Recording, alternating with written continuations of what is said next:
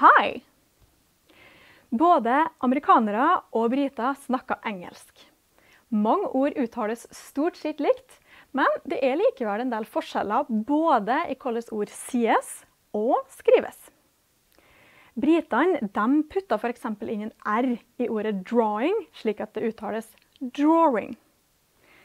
Amerikanerne har tatt bort U-en i ord som 'color', 'favor' og 'neighbor'. Britene skriver òg 'mum' med U, mens amerikanerne bruker O. Så jeg lurer litt på hva amerikanerne egentlig har imot bokstaven U. Autumn det betyr det samme som fall. A fortnight det er to uker. Noe som en amerikaner kanskje ikke har kommet til å skjønt.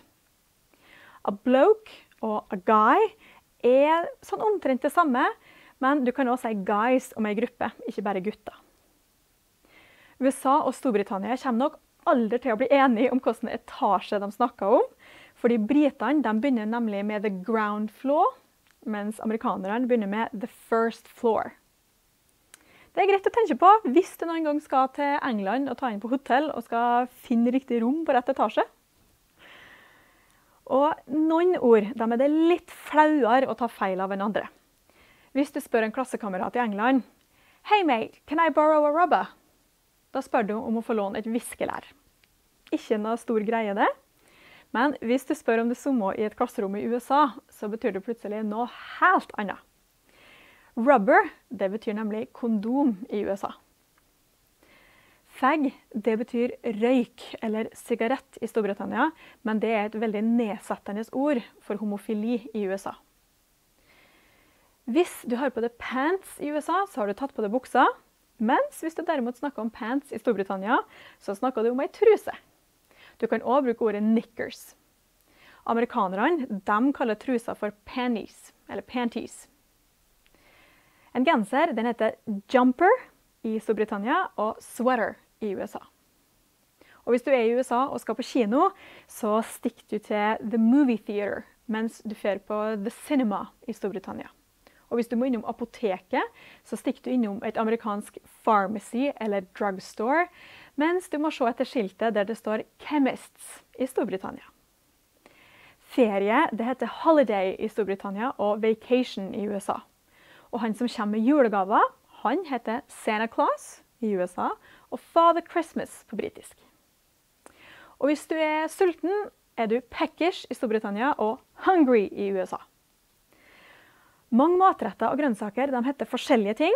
Så hvis du spør «Hi, can I please have an eggplant?» i USA, er det ikke sikkert at en brite vet hva amerikaneren vil. Eggplant det heter nemlig aubergine i Storbritannia. Zucchini er det samme som courgette på britisk. Godteri heter sweets i Storbritannia og candy i USA. Ei reke har navnet prawn i Storbritannia og shrimp i USA. Skal du kjøpe deg mat til å ta med deg hjem i England, så kjøper du takeaway, mens en amerikaner kjøper takeout. Og når det kommer til poteten, så er forvirringa total. En brite som har lyst på potetgull, spør etter potato crisps mens en amerikaner vil ha chips. Briten tror kanskje at det egentlig er pommes frites amerikaneren vil ha, men amerikaneren sier at han vil ha french fries hvis det er det han ønsker seg. Det passer jo godt da, at det norske navnet pommes frites er henta fra fransk, det òg, akkurat som french fries. Hvis du skal komme inn for å ete kveldsmat, så ville mora di ropt 'Come in for your tea' hvis dere bodde i Storbritannia. Mens hvis du bodde i USA, så ville du sikkert hørt Come eat your supper. Når det blir tid for dessert, så må vi nordmenn holde tunga rett i munnen. For dessert det blir dessert i USA, mens britene kaller det for pudding. Pudding betyr altså ikke at britene bare et pudding etter middag. Det er bare det navnet de bruker på dessert. Og I USA blir du kanskje tilbudt a cookie når du skal få noe søtt og godt, mens en brite gir det biscuits.